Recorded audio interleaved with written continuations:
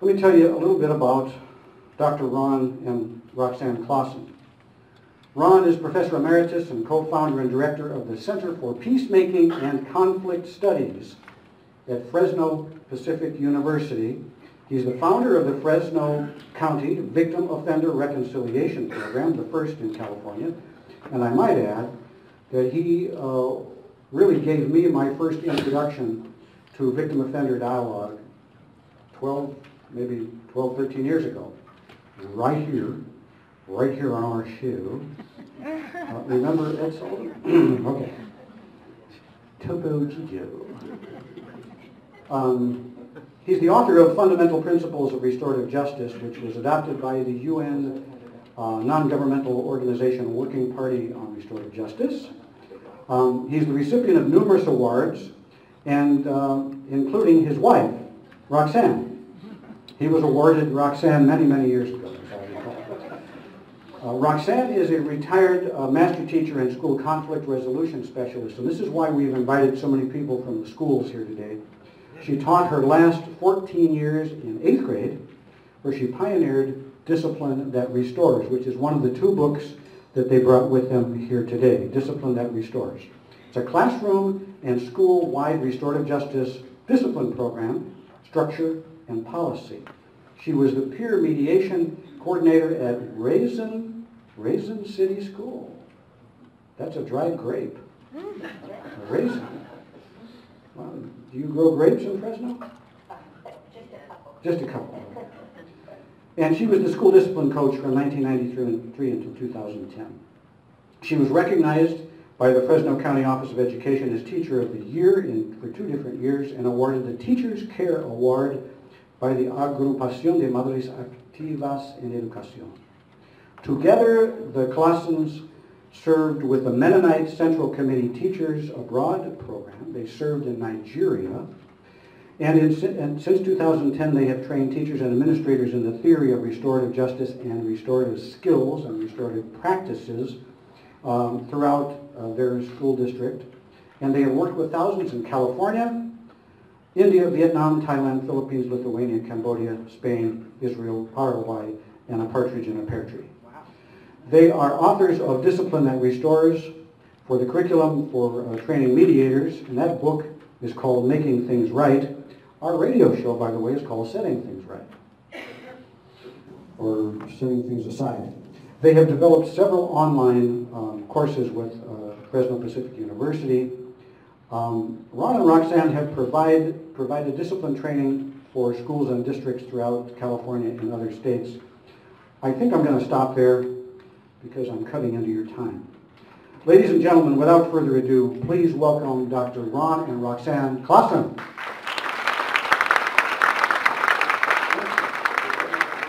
Thank you very much, Stephen. Thank you. Well, it's a, a wonderful honor for us to be here. Uh, We're retired, and uh, some morning, most mornings we get up and read the newspaper and take a leisurely breakfast and so on. This morning, we got up early, and we really enjoy the opportunity of being able to do this. Um, Just a little bit more about our family.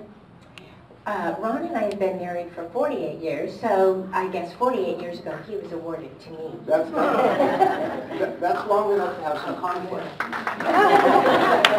And you have to be able to work through some conflict also. That's right. Six weeks after we were married, we were in Nigeria where we lived for three years. And I have to say that that was an incredible, life-changing experience for us that still um, affects the way we think, the way we live, um, and uh, the way we work with people.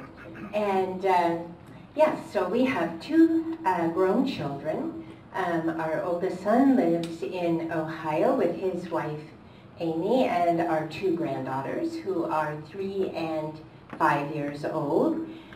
Um, he is the, a professor of political science at Kent State, so last night we just listened to him do what he said was color for a public radio station in Ohio related to um, the most recent uh, debates. So that was fun to listen to. And our younger son, Kevin, and his wife Jeanette live in Oakland with our two grandsons who are uh, seven years old and nine year old, nine years old, both in school. And uh, I have to say, we have been experimenting with our grandchildren related to restorative justice discipline. How young can children really understand these concepts? And uh, how young can we start working with them uh, to uh, create good relationships with each other? So we'll be sharing a couple of those uh, experiences with the children. These are some of the topics we're going to try to cover in our time, and we will. We have a clock right here, so we'll make sure we, we end at the right time. Um, we uh, a little introduction to what we've done in with restorative justice in Fresno, and then some quotes from the qualitative research that's been done. We'll tell you more about that.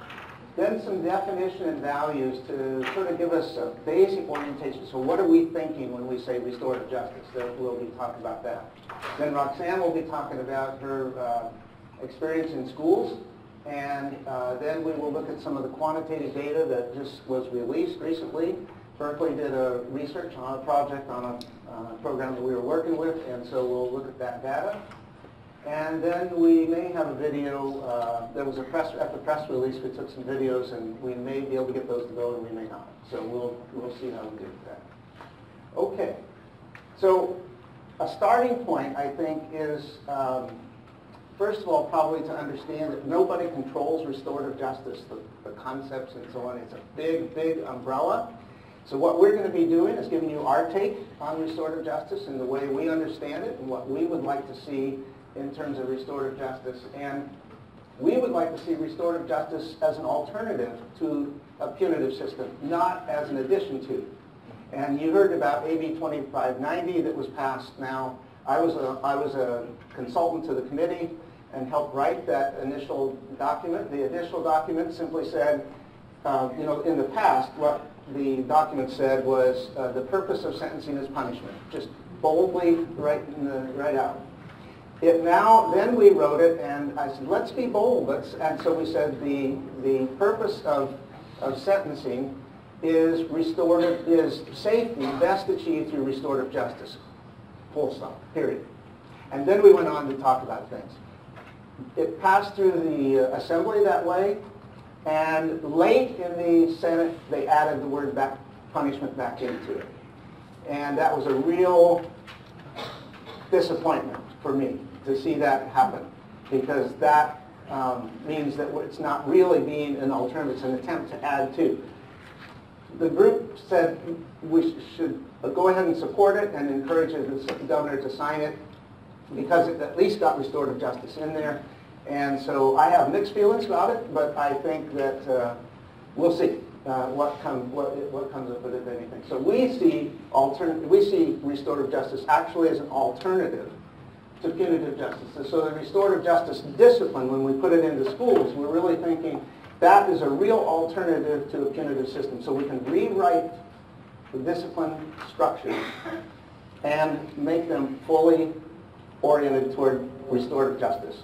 And, uh, and it can be done, and, and that's really the only way I think it really works effectively. So the, the dominant paradigm of justice and discipline is punitive, and it permeates our lives in all kinds of areas. In our families, it, it, it's uh, the way our businesses uh, work with discipline. It's, it's the way our schools have always done it, and our criminal justice system. And so to think in terms of anything else is not easy. It takes time and it takes effort, very, very conscious effort to be able to do that. So the shift from punitive to restorative uh, requires patience and perseverance in the process of both acquiring the restorative skills and strategies. And the shift requires, uh, in addition to individual effort, it requires policy and uh, structural change. It's not enough just to have people trying to do it within a system. We need to also change the system, and the structure needs to be changed. If we don't change the structure, we'll, well, we're going to talk a little bit later about how important structure is, but structure is huge. And if we don't change the structure, it's not going to really change. And so we have to be willing to look at the possibility of changing the whole structure. Um, implementing restorative justice and discipline that restores. Discipline that restores is the language that we use for what Roxanne did in her classroom and the way she applied restorative justice in her classroom.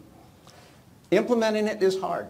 We're not here to say there's a quick fix or an easy answer to this. It's hard. It takes a lot of energy and effort, but when it's applied with uh, integrity and, and, and fidelity, it really transforms people and relationships and systems. And, and, and um, so it's, oh, I think it's really worth the effort. In 1982, we started, uh, we started the Victim Offender Program. And uh, that is for those who are, uh, there were quite a few new people here. So what we did in the Victim Offender Program is we trained volunteers who would bring the victim and the offender, they would talk to them individually, and then if they were willing, bring them together and give them a chance to actually address the violation and figure out how to make work at making things right between them. And what we found is that when you invite people and you do that and you provide a good structure to help them think about it, it works, and people do it. We've worked with over 15,000 cases. We know it works. There's no question that people can, can do it.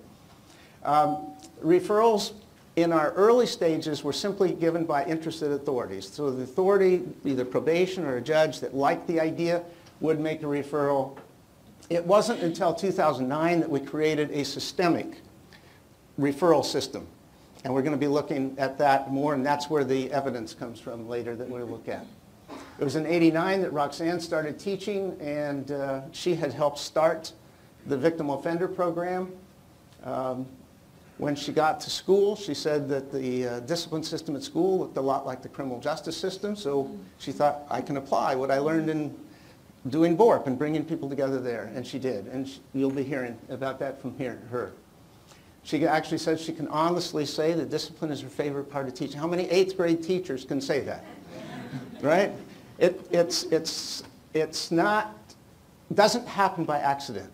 It happens because of a very concerted effort uh, that she made and any other teacher that wanted to could do the same thing.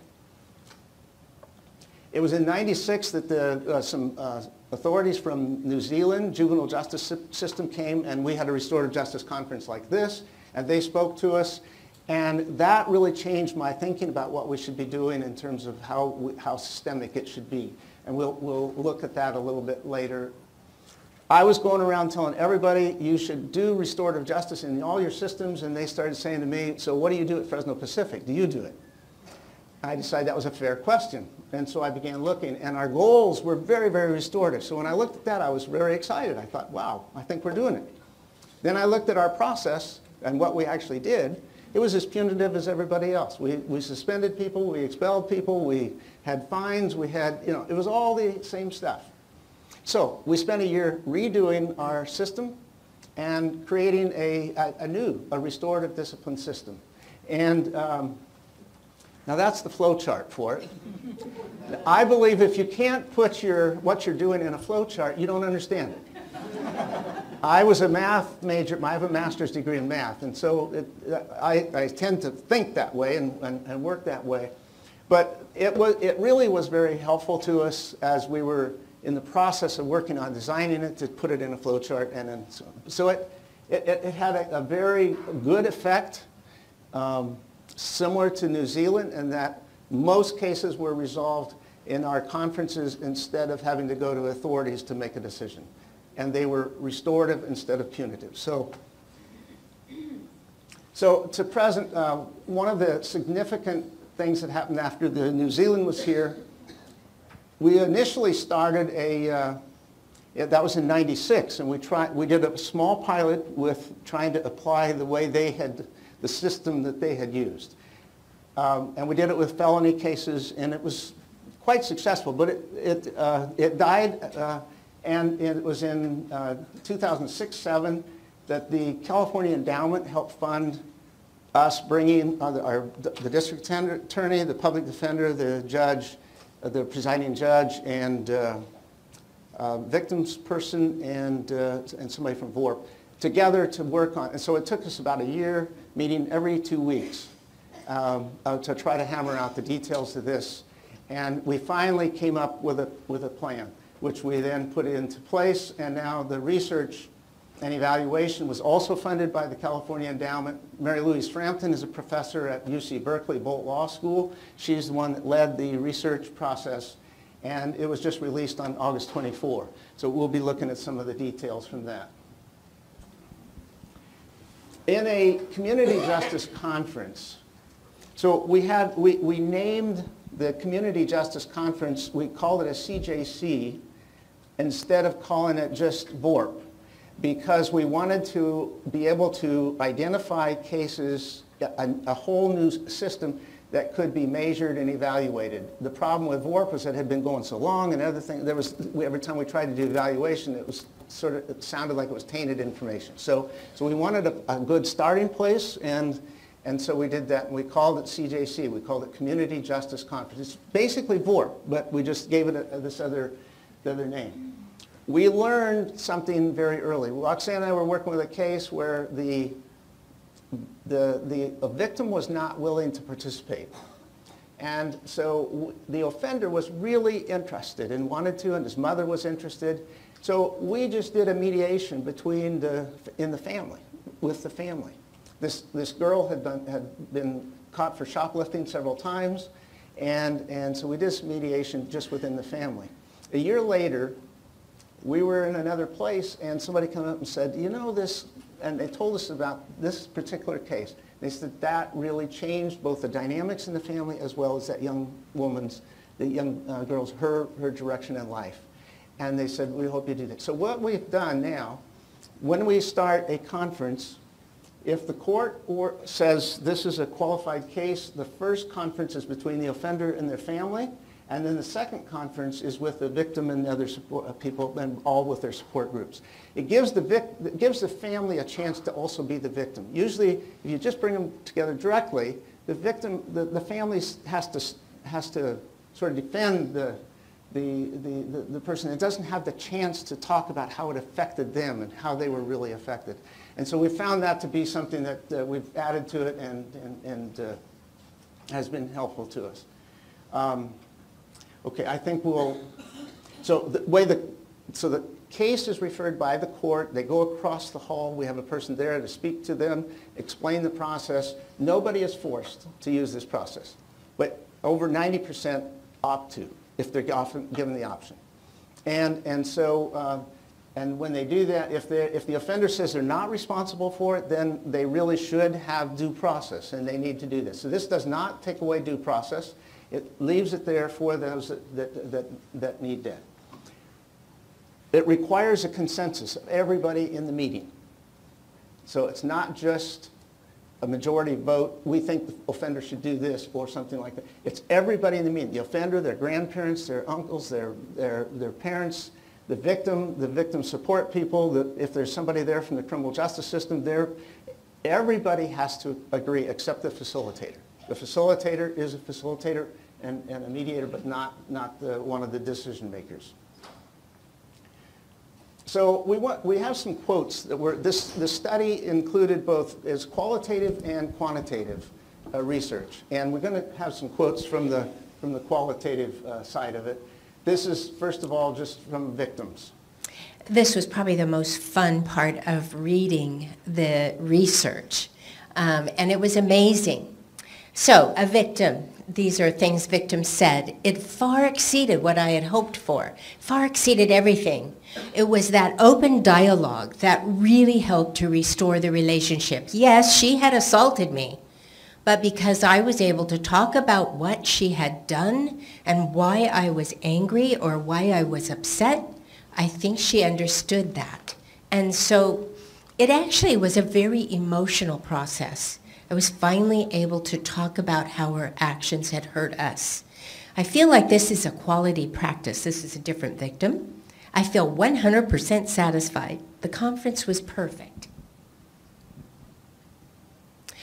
You're seeing a student really trying to work towards understanding what they did and the impact that they have With the criminal justice system, I don't see them working with the impact they have on others. They only see the impact on themselves. That would be the, the offender would see the impact on themselves. The offender was really nervous. He had a hard time. He had to try like three different times to summarize it, the harm he had caused. He had a hard time making eye, con- eye contact. You could tell he felt really bad. Sometimes that's the kind of hard for, sometimes that's kind of hard for youth to admit. They did something wrong and then let alone confront the person they harmed. I thought it was going to be a fake, you know, hey, I'm sorry, I won't let it happen again kind of a deal. But once he started speaking, I saw that the tears were coming out, and he was having a hard time expressing himself. I realized he really means it, and I think he learned from it. We have kids that through their whole lives keep seeing nobody wants to take the time, nobody really gives a crap about them, nobody is willing to get involved. When you put them through something like this, I think just based on my personal experience with kids, they feel acknowledged that, that they do exist, that they do have to answer for what they do. But lessons come in different pictures. It was a positive experience. So do I think it can help kids? Yes, I do. Sometimes bad things happen, and at the end of the day, something good comes out of it. So the community is safer because these kids are saying, well, if this organization that doesn't even know me stepped in on my behalf, and so maybe they see something in me. Maybe, you know, I should change my ways. Yes, it made things safe. Restorative justice should be for everything because punishment isn't working. So these are now from the uh, offender's parents. And so this would be reflecting both experience uh, they had in the, in, in the first meeting and then also with the victim.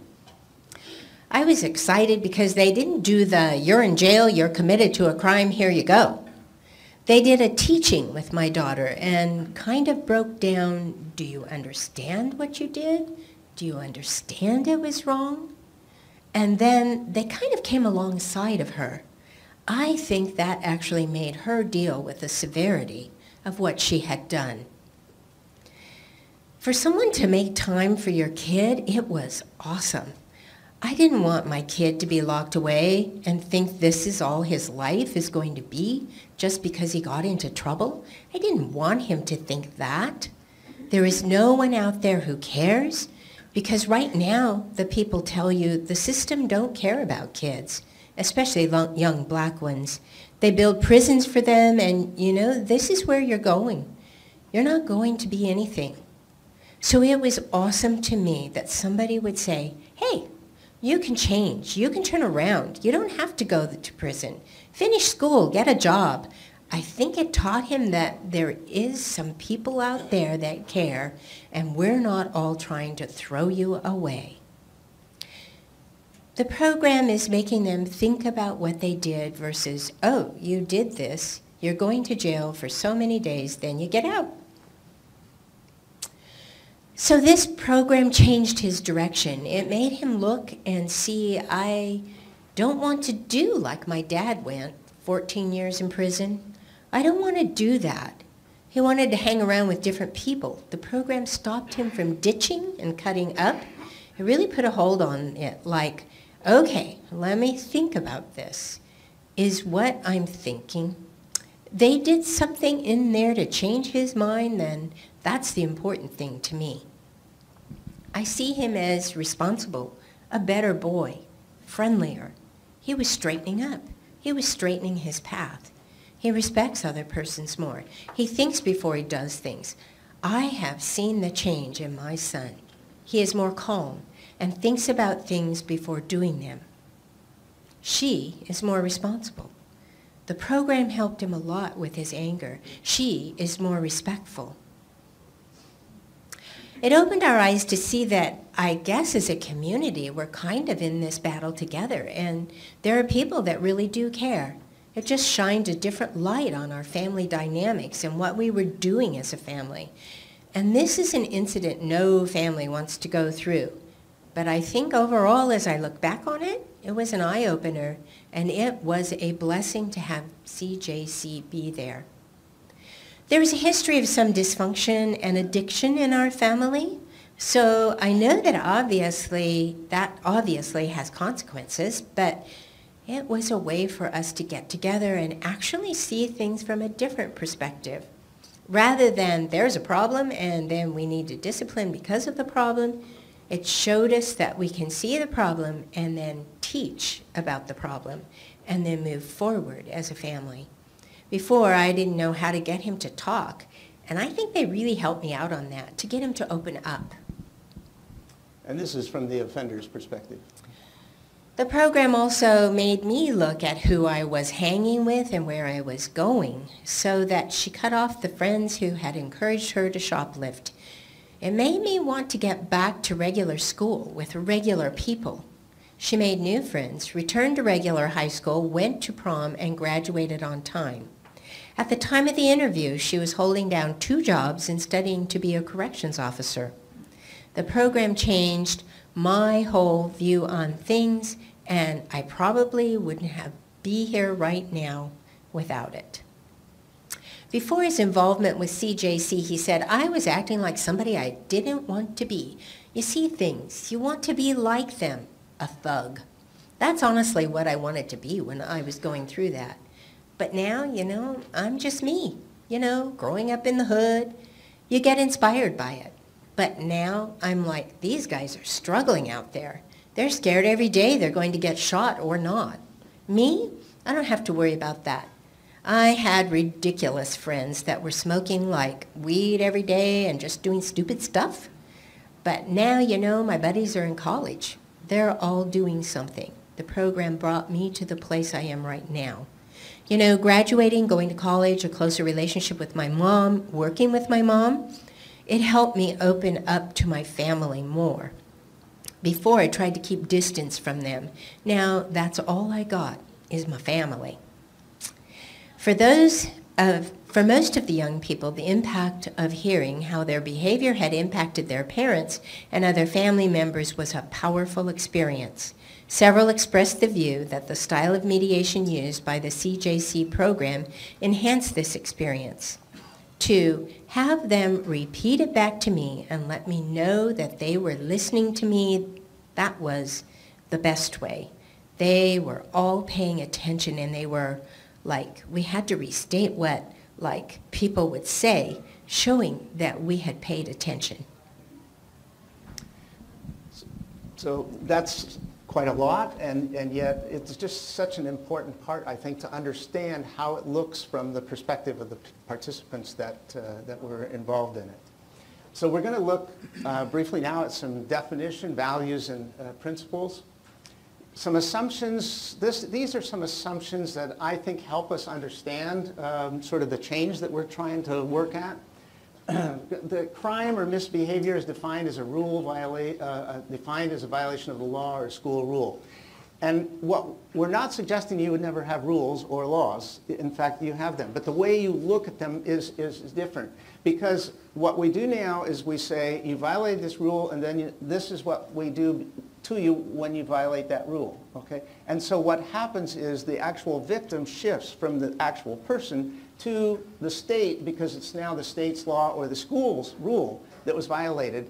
And that's what we're focusing on rather than the actual person who was affected by it. So the victim-offender relationship, because of that, is unimportant in, the, in, in, a punitive justice discipline system. Doesn't mean all the officers don't care, but the structure of the system is that way. And uh, we say you pay your debt by taking your punish, but actually once we punish a person, we watch them much more closely. We, we, they have much less space, and it's because we actually don't say you've paid your debt. You've paid your debt, part of it, and you're going to continue paying as, as, it goes on. So we say the balance between the offender and the victim should be righted by, what the, by the punishment of the offender. But in fact, the, the victim doesn't experience it that way. And in fact, sometimes they're more fearful because of what the system uh, did uh, to them. So, in a, what a punitive system would do to them. And um, Justice is found in an adversarial uh, process that follows rules or administered by authority. The reason I include this is because a due process is very important and very critical to have as a backup. And I think it should be as a backup, not as our first mode of working at problems. And, and so the, um, the fact that we have this incredible um, due process is an amazing thing and, and a wonderful thing. So I'm not suggesting we should ever do away with that, but we should not use it for our, the first thing we do. When we look at it from an assumption, what would we say? If we're thinking in terms of restorative justice, then a rule or law violation is an indicator that points to the real problem, the real human relational problem. So rather than saying, okay, this is the, the violation of the rule is the problem and now we punish for that, we say it's an indicator that points us to the real problem. So a restorative justice or discipline response is one that invites the most affected people and empowers them to recognize what happened and then to make agreements that will restore equity as much as possible and to clarify their future constructive intentions. Restorative justice discipline response includes follow-up to ensure support and accountability. Support and accountability are very, very important in, in, uh, in, in uh, working with that. I think I got louder. Is that okay? Uh, maybe we can hear better. Um, restorative justice discipline response celebrates the success of completing su successful agreements. It's just, it's an amazing thing to watch the celebration at the end if we've actually, uh, when, when people have come to a, a good uh, solution. Structure is not benign. Um, all people are affected by and treat each other differently depending on the structures of the systems in which we live and work. And um, some structures bring people together and help them work together and live together cooperatively and constructively. And these are what Wal Walter Wink and John Howard Yoder would call good structures. Some structures divide people, cause them to hurt each other, cause them to treat each other disrespectful, and what Wink would call evil structures. And they all claim, both Wink and Yoder claim that all structures can be redeemed. They can be changed. And, they, and so there's, there's hope. There's, there's a possibility of changing the structures. Restorative justice provides both model, skills, strategies, and the structure and system to establish uh, good systems. So um, again, we started with VORP. We developed the CJC, and, uh, and when they were here, I want to, what they did is they legislated that every case, every juvenile case, before the court would act on that case, would say to the family, if the offender accepts responsibility for doing this, we will bring together a conference. You can bring, the, there's a, a, facilitator who will help bring a, a, family, they called it a family group conference, but it was immediate family, extended family, and then it also included the victims. And so uh, this became law in New Zealand that has one system that governs the whole of, the, of New Zealand, became law in 1989. It was in 96 that we had the judge here from, from New Zealand. And This is what he told us had happened. 90% of the cases were actually getting diverted to this system, and 75% decrease in court hearing means that the judge was making the decision on, on cases uh, less, 75% uh, less than they would have in, before that. But the big one, I think, that nobody expected, two-thirds fewer in custody when we brought them and we took them down to our criminal justice, that why would, you have these facilities, why would you not use them? And the answer to that was, you know, when, when families get together and they think about what's the best way to work at this and the victims, everybody's together, the last thing they want to do is incarcerate because they know that that's going to put offenders with people who are likely to encourage them to do more of the same thing that got them into trouble in the first place. Whereas if they can create a really creative uh, sort of way of working at making things right and following up and holding accountable, they can be with people who are going to help them make good decisions, make and change and so on. So he said they just don't want to use incarceration unless they absolutely feel like they have to. And the amazing thing, it also reduces recidivism, which really increases safety. These are some um, policies and protocol. When we wrote uh, the policies and protocols for our CJC system, this was the public defender, uh, district attorney, judge, and uh, uh, probation, and, and then some of us from VORP. uh, working together. And we started out with the idea of creating some values that we could all agree on. In that first, I'm, I'm not going to go through all of these values, but I do want to point out the first two because they seem like uh, very benign things. Safety, care, restoration, and reintegration. There's one word in each of those that makes those two controversial, and that was the word all. When you add the word all to that, all of a sudden now, I was presenting at a criminal justice conference once and I said this and a, and a guy stood up and he said, you don't really mean all. I said, I really mean all. He said, if you really mean all, then I have no interest in this. Later on, he talked to me and he said, you know what? I think maybe we should consider all. All is huge. That, that, it changes our mindset when we say it actually applies to all. And we need to be sure we work with all. So some principles, I'm going to put these principles in terms of purpose, problem, people, process, and power. So the purpose is to increase the likelihood that we will respond to each violation and misbehavior in ways that are life-giving and make things as right as possible. I'm going to, I'm to skip that because I'm running short on time. Um, the problem. Uh, the problem is not the rule that was violated, but the rule points us to the problem. And so then we can work with that. The people, we need to be sure that we have all the uh, critical people available. What we often do in our systems is we send the persons out and somebody else makes a decision that affects them. Okay? As, instead of the parties having the right or the opportunity to actually be involved in the creation of the agreements. Uh, discipline that restores prefers power with rather than power over, and you all got a yellow card like this, and I'm going to very quickly try to uh, describe this. The I's are the ones in a conflict, and the X's are outsiders who get involved, and the circle indicates who makes the decision. And so um, three and four, you can see the parties are making the decision. Number two, the outside party makes a decision, and in number one, a person makes a decision for them. We talked about going to Nigeria six weeks after we were married, and I felt like um, I really knew Roxanne really well. And then we got there and we realized, I, I, and we had conflict. And one of the conflicts was how the toilet paper should be put on the roll, you know?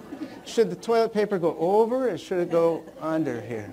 Well, after I created this model and I looked back at this, I thought, you know what, we used, we sort of used the, two of these strategies. First of all, we decided what we would do one day after, actually, maybe we used all three of them, because for a long time I thought if I would turn it over enough times, she'd give up. but that doesn't, that, she doesn't give up. I, I was just learning to know Roxanne. And, and so, um, so then we talked about it one day, and, and uh, we came to an agreement. And our agreement was that we would go to a store, uh, we, the, what was called the Biafra War, some of you might remember, that was going on when we were there. And, and so there weren't a lot of imports coming into the country, but there were a few, and we were going to look for some toilet paper that had uh, colored patterns on it. Uh, they don't, now toilet paper's all white, but there was a time when they had floral patterns and colorful things and so on. And so what we, would, what we agreed to do is to look at it and see if we could tell how the manufacturer thought it should go on the roll.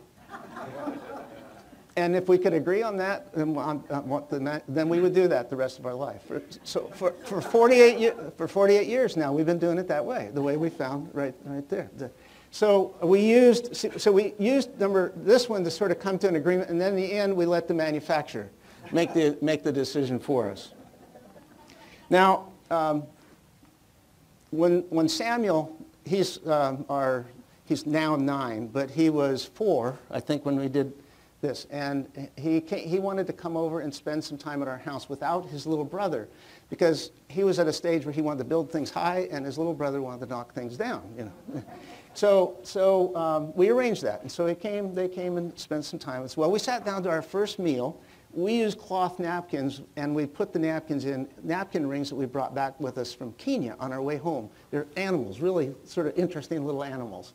And, and so uh, we sat down, and I have one that I've been using. Roxanne had one she's been using. And we put about five others out there, and we said, which of these would you want to use, Samuel? And he looked around. He said, I want yours, Grandpa. I said, you can't have that. I've been using that for 40 years. And, and of course, I was feeling a little bit sheepish at that point, but Roxanne said, I think it's time for us to look at the yellow card. So she brought the yellow card over and she showed it to Samuel. And she said, Samuel, if, if, uh, if you get your way and Grandpa feels like he has no choice, that would be here. Or if Grandpa says, no, you can't use it and you don't have any choice, to be. But down here is where the two of you would try to come to some agreement together. Which would you like to use? Point to the one you'd like to use. He pointed immediately to number four, and he turned to me and said, Grandpa, how about if I use it today and you use it tomorrow and I'll use it the next? I was, uh, you know, I was feeling guilty in many ways for doing this in the first place. But in some ways, I was really enjoying it, and it was really, it was really fun. So Roxanne said, should I write your agreement? And this is the agreement that she wrote. Samuel and Grandpa will take turns using the elephant napkin holder. Samuel will use it on Sunday, Grandpa will use it on Monday, Samuel will use it on Tuesday, and then we signed it. Well, you can see here, I signed it in a very poor sort of cursive, and, and, and, but Samuel looked at it. Now, he knew how to print his name.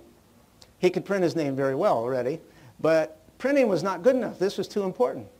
And so you, he put his little pen down, and then he just sort of scribbled himself, you know, his own signature there. The next morning, he took the napkin out, traded him. The next time he came back to visit us, he said, Grandpa, whose turn is it to use it first? And it wasn't until he, this year he's nine, he said, Grandpa, I think I want to use one of these other napkin holders.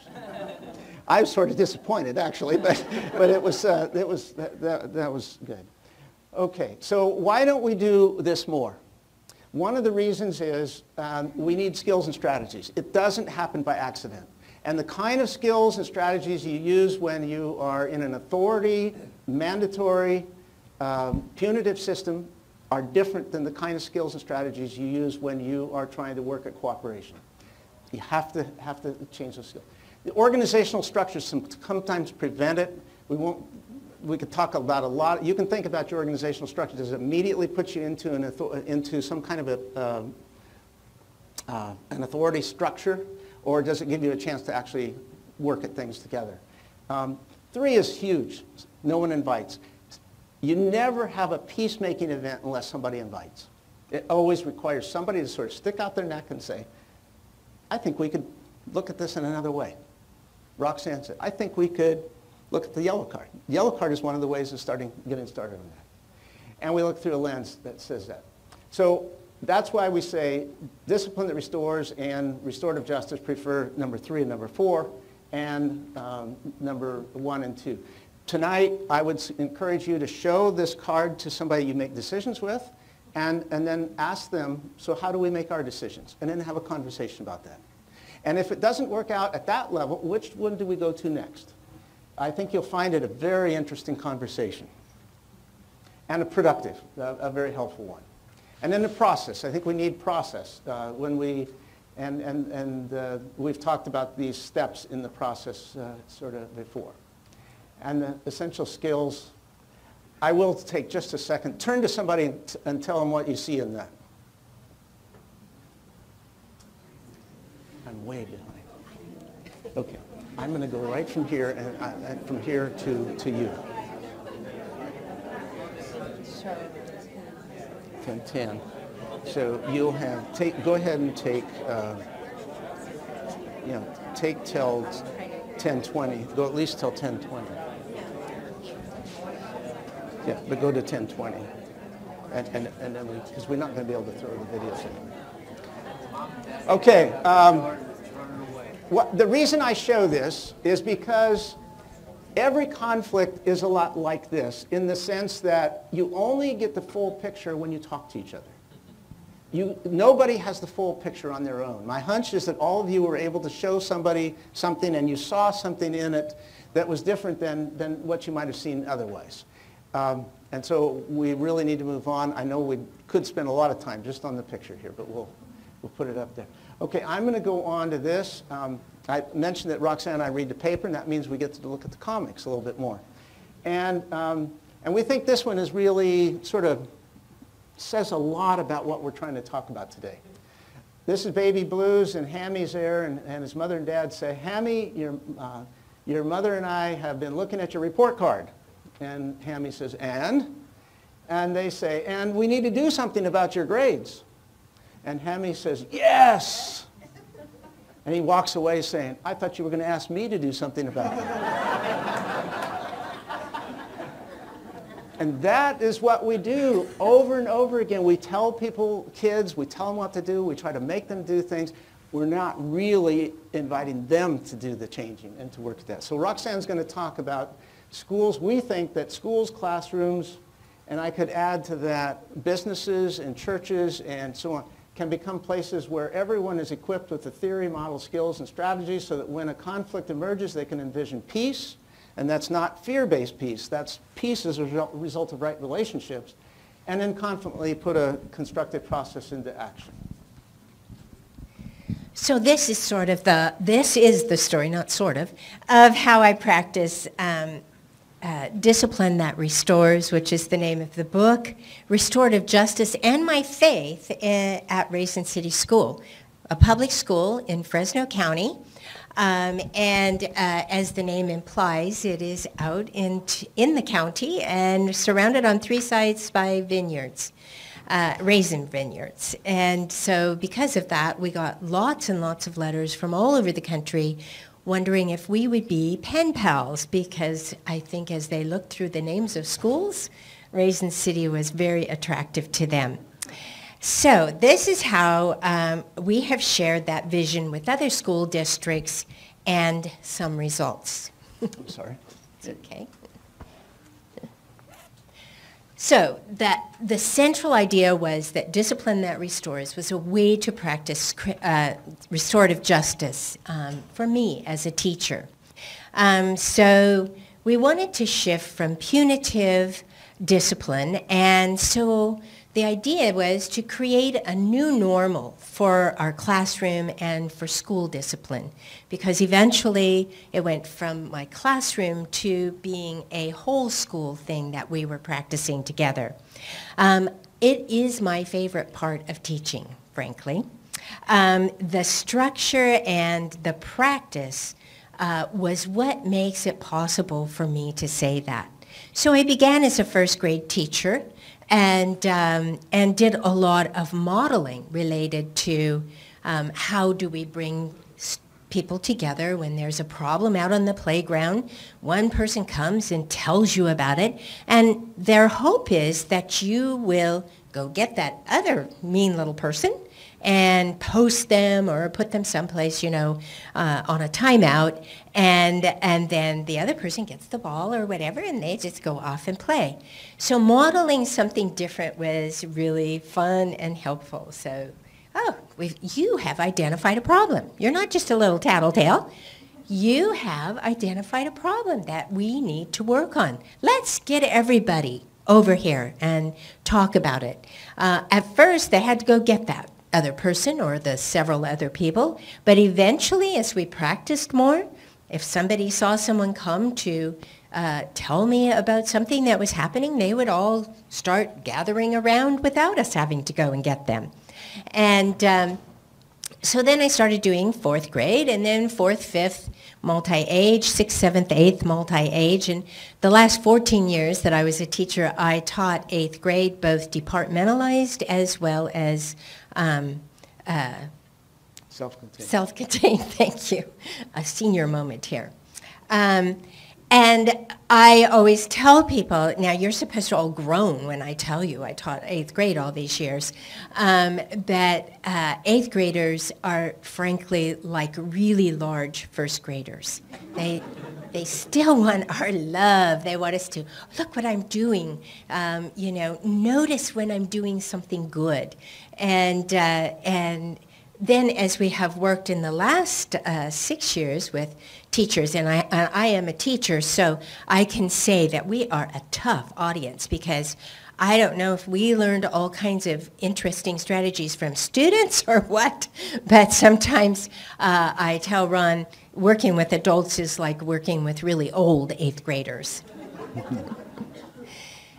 So again, we've already looked at that. Um, I discovered in school misbehavior was viewed as a violation of a rule, and then, um, you know, we have to figure out what is an appropriate punishment for that. I also have to say I worked with, our children are with some pretty incredible people every day. And people were very open and interested to hearing, uh, you know, they're not really new ideas, but um, you know, being much more conscious maybe about our first approaches to children that are being viewed as misbehaving. Um, so because that structure looked like the criminal justice system, I realized, hey, I can use what we were practicing in the Victim Offender Reconciliation Program here at school. And eventually others began asking me, you know, so what are you doing? Um, I'm going to skip that one. You've already looked at some of the values. Um, we realized as a school that structure was really, really important. And if we were going to actually be able to offer restoration to all students, we needed our structure to be such that that was where all of us were starting no matter what kind of reputation a student came with, whether they came to us with a ankle bracelet, um, whether they came on the very first day of school, had been at Raisin City since kindergarten, or whether they came during the last three weeks of school in eighth grade and were about to graduate, we wanted to have a structure that would offer a restorative approach as our first approach um, to all of the students. Um, so um, I think the best way to share what I did in my classroom is to look at the flow chart. And as Ron and I were finishing a uh, uh, a training, a seminar for the other teachers and the administration at my school, um, some of the teachers turned to me and said, well, these are all interesting strategies and ideas, but Roxanne, what do you actually do first and then next when you have 30 students in your room? Um, and so um, I began thinking about that. And uh, later people said, well, uh, you know, we, we go to professional development or three of us get to go and we learn maybe the whole structure and strategy, come back and maybe we're given a chance to share that with others or maybe an hour and it's not really possible to share four days in an hour. So um, our uh, Beatriz Ramirez, who is then our superintendent principal, said, you need to get this written in a book so that people could, you know, at least be able to read it. So there's the book. There's the flow chart. And I have to say, you know, I think opposites attract. Flowcharts are not my favorite thing. In the first place I go, I tend to, you know, do it as a narrative and um, so, but, and the other thing is we can all change, which is wonderfully good news.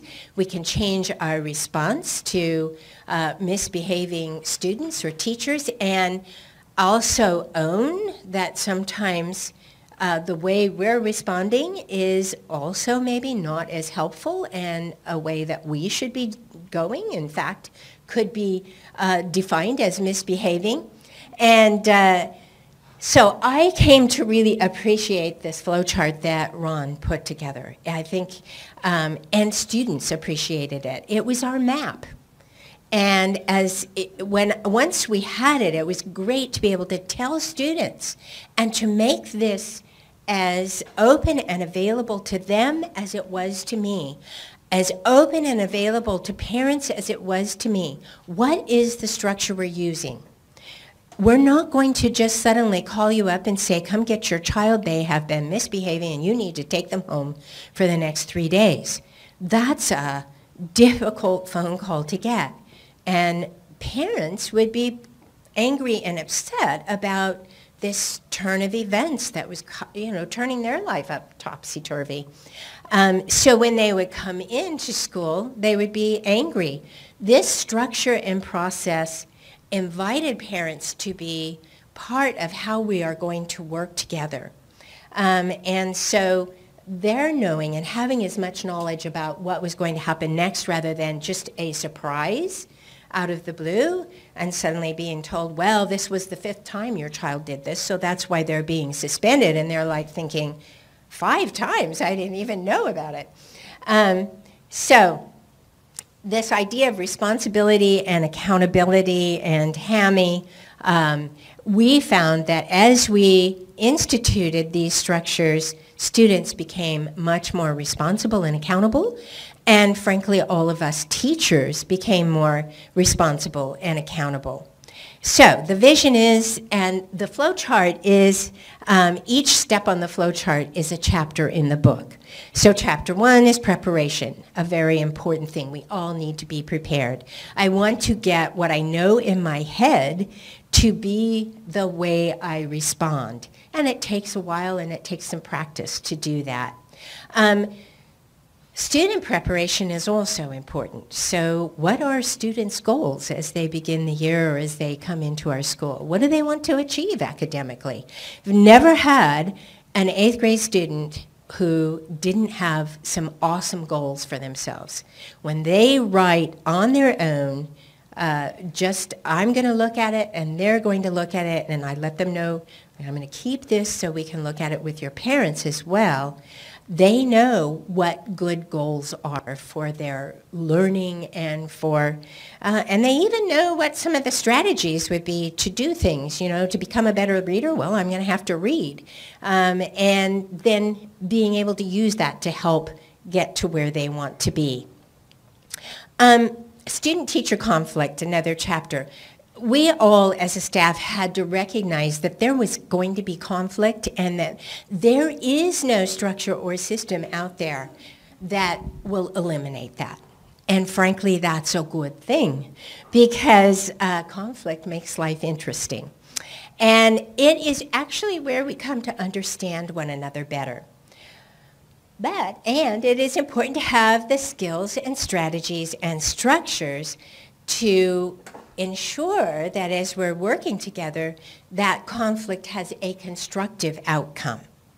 And we also needed just to, all of us, embrace conflict as a staff and um, feel good about it because we had some positive ways to work on it. Um, so all can learn um, discipline that restores, and all can practice. Um, so if I had a conflict with a student, I wanted, I, the teacher, I wanted to be the person who worked with that student. I didn't want them to work only with a counselor or to work only with the administration. I wanted to be that person because as a mom or as a dad, I mean, we want to be the person who's working with our children.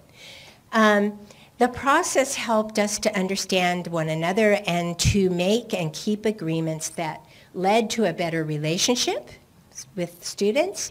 And frankly, you have to have a good relationship, in my belief, in order um, to open the door to the learning process to help uh, get students to a place where they feel that they can try things, that they can question things, that they can make a mistake and learn from that um, and, and learn and grow and reach their full potential.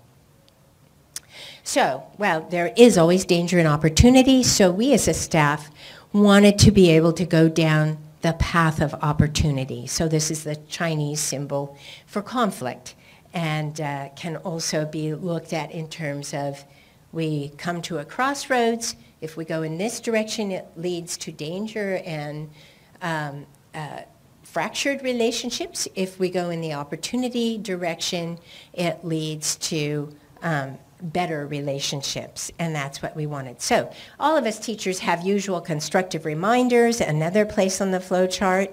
Um, they're used more than any other stop on the flow chart.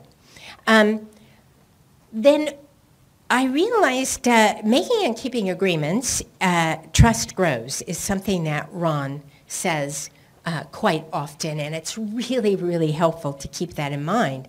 So I decided a good way to work with classrooms of students was to work on making a respect agreement right away so that we were making some agreements, keeping some agreements together, and working on uh, trusting one another as we were in this classroom community together. Um, so uh, it evolved into uh, this idea that I wanted to let them know, I want to hear from you. What would it look like, sound like, be like if I, your teacher, and the other teachers who uh, help us here in the classroom were respecting you? And then what would it look like if you, the students, were respecting me, the teacher? What would it look like and be like if you're respecting yourself and each other? And then finally, what about the incredible facilities that the school provides for us? What would that be like and look like? And students, first of all, write on their own then they talk together as a group and share their ideas.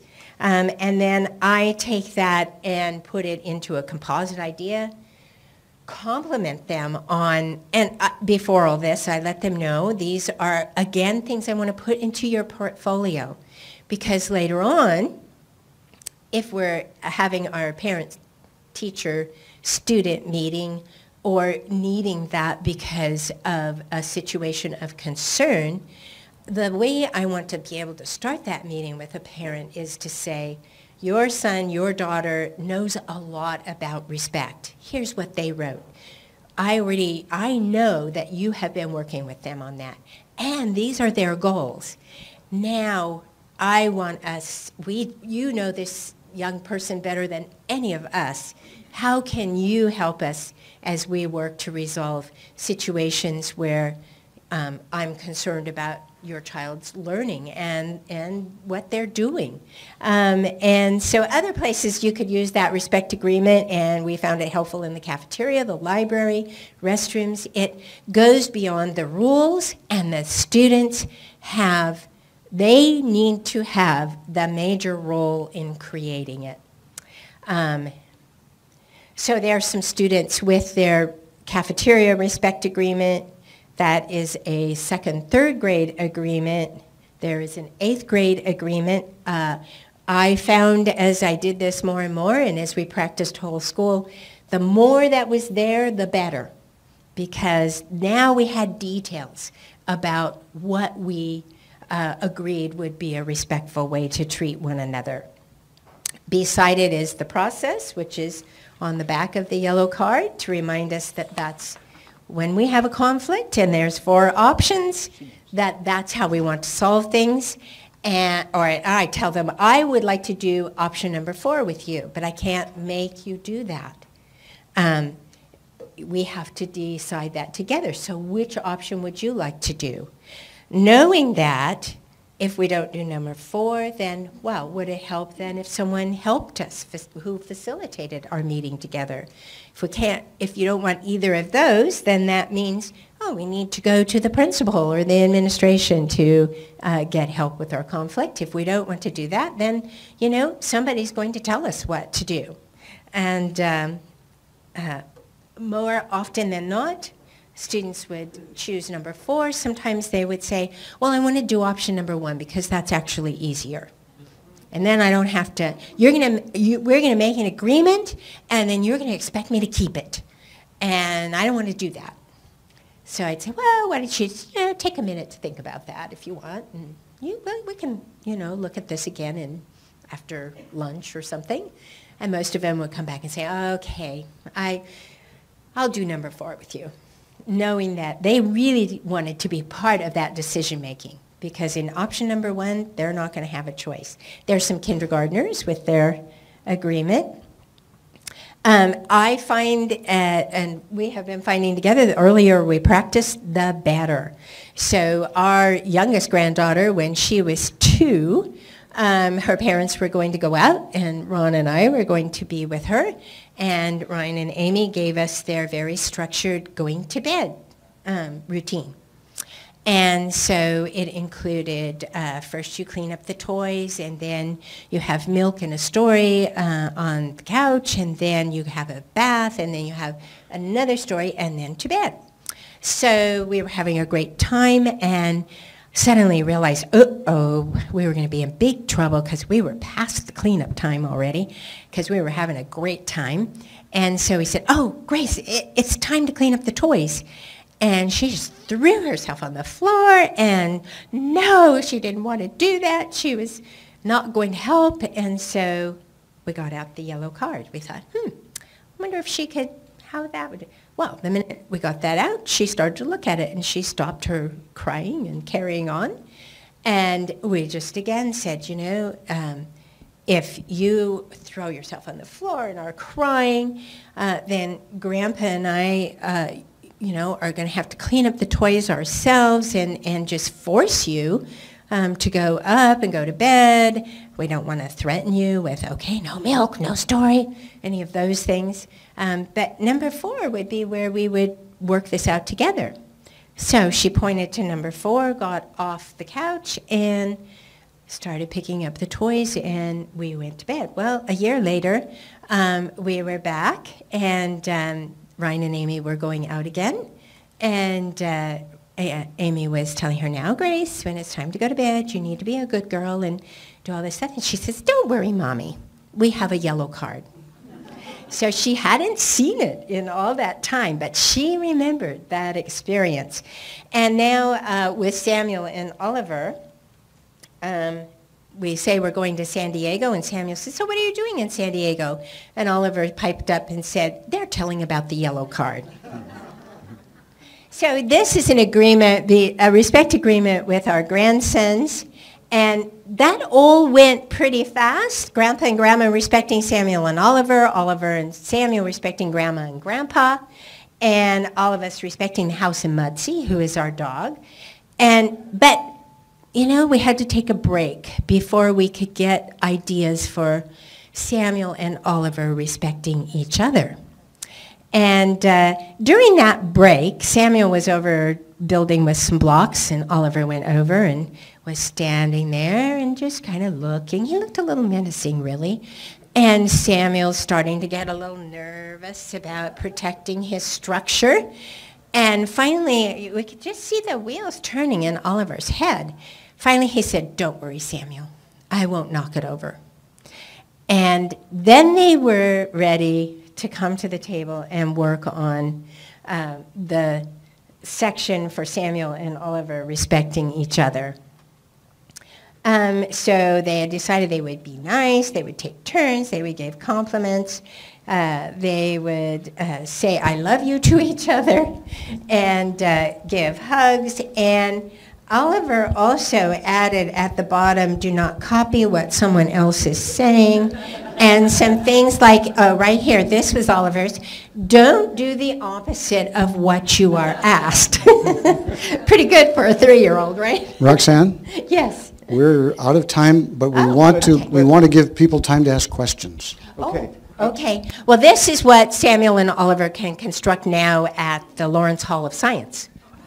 You know, we, we have a conflict. Um, I, I thought we had till 10:30. Sorry. Is that right? Yeah. I'm, I'm so sorry. Uh, it- Is that right? I'm very sorry. I would, I- I I had the I wrong thought- time in mind. Well, and, and it- it- Now, wait a minute. it's good to show. You just wait a minute. We can work through conflict. I'm just kidding. Conflict is normal, and, and, uh, and it's, uh, actually, the definition of conflict is when we're blocking each other, right? If you think about a conflict that you've had, and, and, and it's when one is blocking, it's not when we disagree, we can disagree, but when we block each other. So, um, We just want to leave time for questions. That- Okay. That, that was my only we will- purpose for we picking this will- up. We will wrap up here. I do, I would, I do want to show you a couple of uh, flow chart, I mean, uh, well, LeGrand High School is a high school that implemented her system here, the, the system of discipline that restores. They were in program improvement. They had had 50 expulsions, 20 expulsions, uh, uh, 50 suspensions, 20 expulsions. They didn't have any suspensions or expulsions last year. And they were named uh, number 128 best high schools in California, number 664 best high schools in the nation. Before that, they were in improve, program improvement. It, now, it took five years to them, for them to work on that. They, they were very diligent. They had a great leadership that, that took them to that. The, um, the, the uh, quantitative part of our research showed that um, if they do CJC, they recidivate at a, at a uh, rate of 4% compared to 22%. If you go out a little further, it drops even down more to 2%. So on recidivism, it, was, it showed it to be very uh, successful compared to comparable cases. On restitution, it was huge. I don't know how much restitution gets paid here. If the, if the, I always thought when the judge ordered restitution, it automatically got paid. That's not the case. 6% gets paid in Fresno County. And, and if... percent here in San Diego. Okay, it's close to it here then. And, but when they agree through a, a CJC process, 74% gets paid. Huge difference. And actually, we think it's higher than that. But this is what the study showed.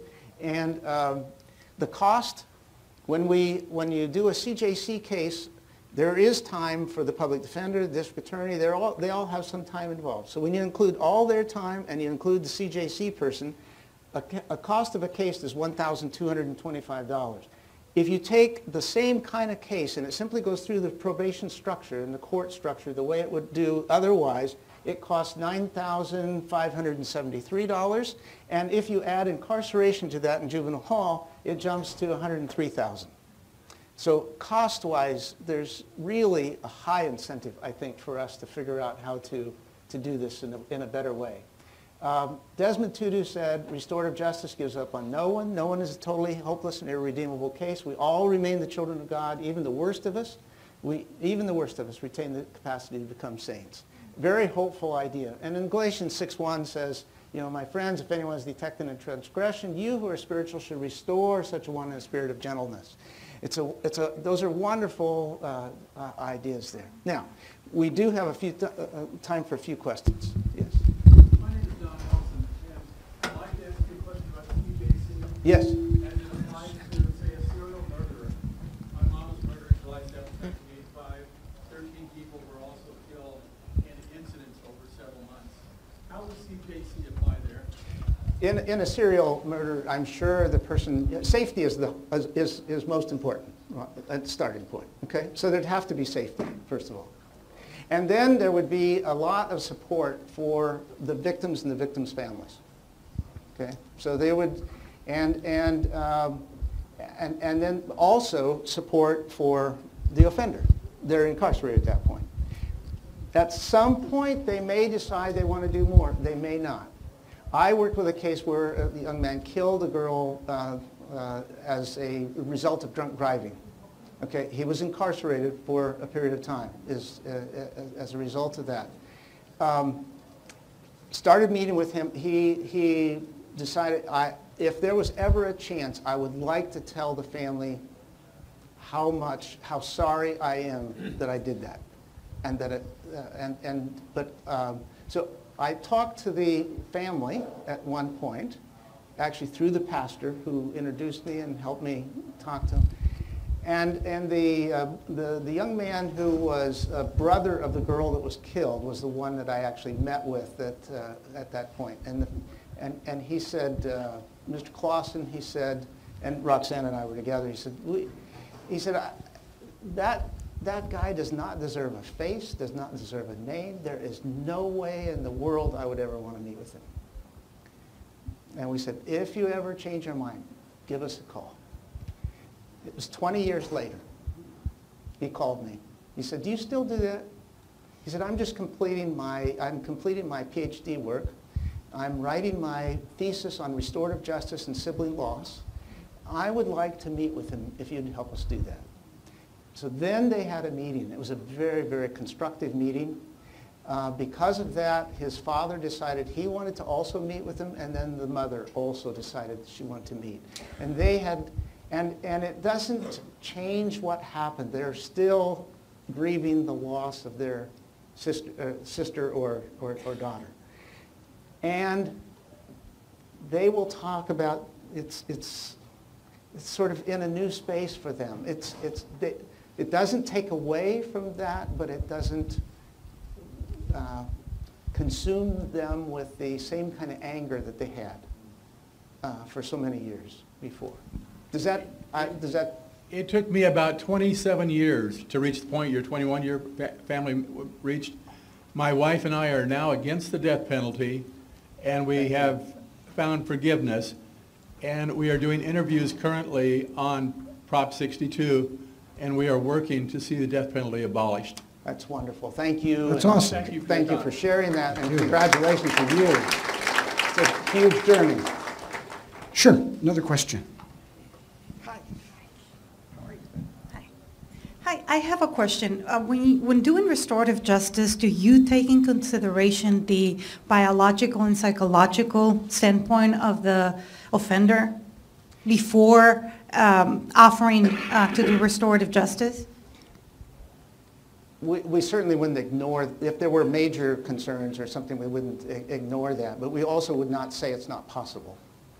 Okay, so, so maybe they need more support, they need more people with them, um, and, and not by themselves. Um, But um, the invitation to figure out how to live constructively, given whatever dynamics you're living with, is very important, and, and I think it really helps provide that opportunity. I don't, does that?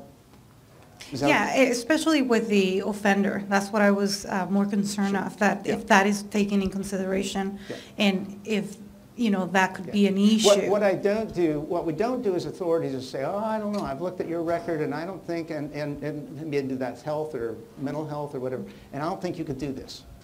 Mhm. I never make that judgment. They make the judgment. Got it. Great. Thank you so much. Okay. Anyone else? There's, Oh, right yes. up here, Jim, there's a question right here. Oh, Then there's another. Sorry, sure. Ke- Kevin? Thanks. I'm, I'm curious about the school part of this. Uh, I'm a high school principal, Right. and um, this has been on my heart and in my mind for a long time. And, you know, sometimes schools are the worst places to try to do something like this because everyone wants justice, and not a lot of people want the mercy part. Uh, Two questions. One is, do you work with schools Yeah. and faculty Yes. uh, on, in And- services? Yes, and, and I really um, suggest using justice to cover, this is justice. Yeah. It's Yeah. not, I think so often people think, oh, you're just going to be soft and you're going to say it's okay and so. The reality is this actually calls for more accountability and responsibility than in a punitive. In a punitive system, for example, we're very permissive most of the time because we know that we can't give this punishment until they do it bad enough to deserve it. Right? So we wait and we wait and, we, and now we do it, okay? But in restorative justice, as soon as it starts to emerge, you can talk about it because it's restorative and it's constructive. Yeah, I, I agree. Yeah. Um, Do you work with schools? or Yes. no? Okay, so Yes. second question, the, the more important question. Uh, And, and our jump here as in San Diego is helping us also work with schools. great. Um, Barring the extreme, uh, with restorative discipline in schools, are there lines in the sand, generally speaking? Uh, Or is it always are restore, some- restoration? There are some state requirements that require certain things to be done until the state laws can change. I mean, you have to follow certain, certain requirements of the state. Those are the only, uh, I, I think otherwise you work with people. See, the problem is we sort of think, okay, with this kind, now we're going to, we have to put them out, or, or we have to do this. But who is that benefiting in the long run? And, and, and uh, if they're simply put out? We know what's going to happen when we put them out. I mean, that's not constructive, most of the time. I mean, once, there's exceptions, but most of the time, it's not constructive for them. And so finding a way that they have to actually recognize the injustice, they do things to repair and restore, they actually do things to clarify what they're going to do for the future, and they are in a, in a, a a support and accountability group. That's what, that's what you, if, on the four options model, if they will not work with you at four or three, which is pretty rare, but if that happens, then authority has to make a decision. Yeah. Yeah. We have time for one more question. And then maybe one more. Like- Like I said. This question's for Roxanne. Um, In your work in the schools, do you ever, when I'm looking at the yellow card, I'm finding sometimes when either counselors or administrators get involved, um, they limit us with things that might say confidentiality. I can't share this with the victim, and so we'll take care of it, but just trust us that it got taken care of. Do you, do you have a way in your literature, in your book, to deal with areas of confidentiality where they can't share something about uh, the offender with the person who's been offended? confidentiality does remain important. And I think I found that as we worked at um, situations at our school of discipline, um, instead of it being very public, what was happening to people who were being disciplined, it became much more confidential. So yes, you would have to work within confidentiality confidentiality restrictions.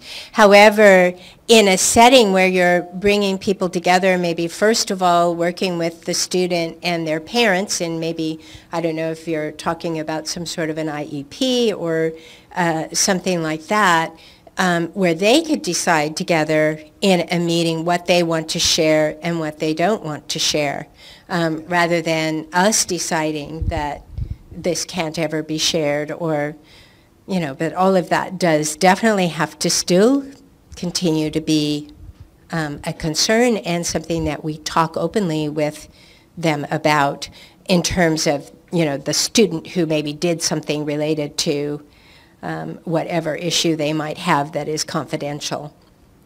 Could we negotiate this as the last question? We certainly can. Last There you go. Thank you so much. Um, thank you so Your much. Probation, right? Actually, uh, auditor and controller revenue and recovery. I work with probation and I work with the, and I work with the courts.